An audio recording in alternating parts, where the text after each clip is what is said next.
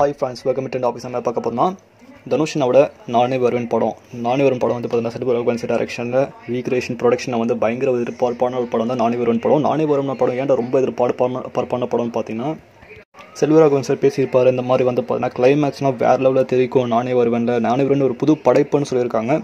So அந்த படைப்பை பற்றி ஒரு அப்டேட் சூப்பரான ஒரு அப்டேட் கிடச்சிருக்கு. என்ன அப்டேட் பார்த்தீங்கன்னா ரீசெண்டாக வந்து பார்த்தீங்கன்னா ட்ரெண்ட்ஸ் சொல்லக்கூடிய ஒரு அஃபிஷியல் பேஜ் வந்து என்ன என்ன சொல்லியிருக்காங்க பார்த்தீங்கன்னா இந்த மாதிரி நானி வேர்வனோட ஃபைனல் ஆல்பம் ப்ராக்ரஸ் வந்து ஆகிட்டுருக்கு ஆல்பம் சாங் வந்து ப்ராக்ரஸ் ஆகிட்டுருக்கு அப்படின்னு சொல்லிட்டு போட்டிருக்காங்க.